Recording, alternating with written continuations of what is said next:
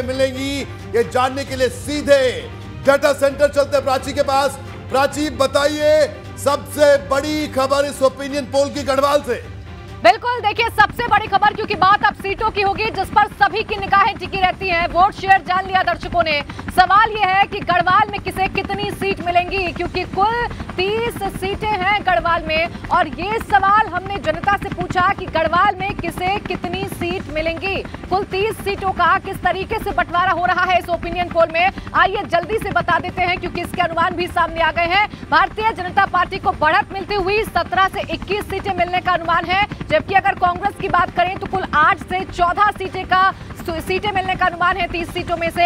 आम आदमी पार्टी की बात करें तो शून्य से एक सीट मिलती हुई नज़र आ रही है। यानी खाता खोलेगी भी या नहीं, ये बड़ा सवाल है। अगर अन्य की बात कर लें तो अन्य के खाते में भी शून्य, यानी कि अन्य की यहाँ पर कोई जगह नज़र नहीं आ रही है। अभी तक के जो अनुमान हमारे ओपिनियन पोल में सामने आ रहे हैं, गढ़वाल की तीस सीटों को लेकर। अब इसमें बड़ी खबर क्या है, ये जानने के लिए हम ब्रेकिंग सेंटर का रुख करेंगे। दीपा, बताइए।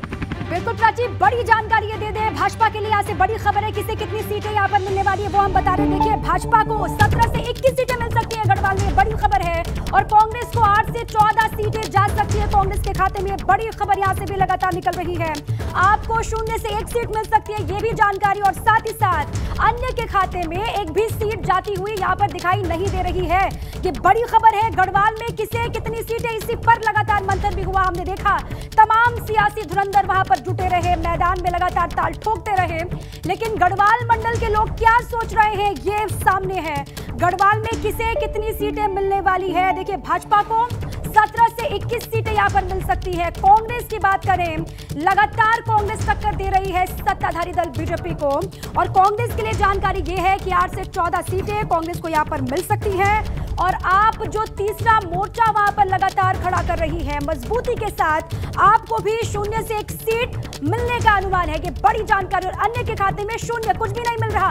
ये बड़ी खबर इस वक्त की इसी को लेकर है। देखिए, गढ़वाल सबसे बड़ा मंडल हो जाता है और इसीलिए भी यहाँ की हर एक सीट बहुत अहम है। बीजेपी यहाँ पर मजबूती के साथ खड़ी दिखाई दे रही है।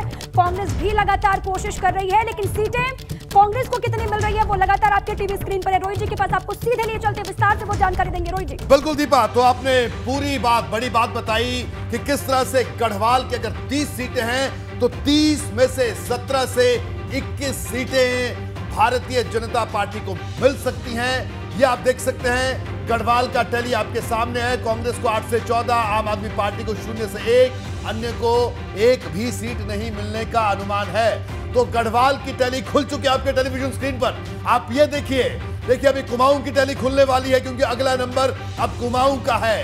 लेकिन अगर गढ़वाल की बात करें तो गढ़वाल का नतीजा 30 सीटें बीजेपी 17 से 21 कांग्रेस 8 से 14 आम आदमी पार्टी शून्य से एक सीट। ये आंकड़ा गढ़वाल का निकलकर सामने आ रहा है, जो एक बड़ी तस्वीर दिखा रहा है। यानी गढ़वाल में ये कहा जाए तो भारतीय जनता पार्टी को बढ़त मिलती हुई दिख रही है।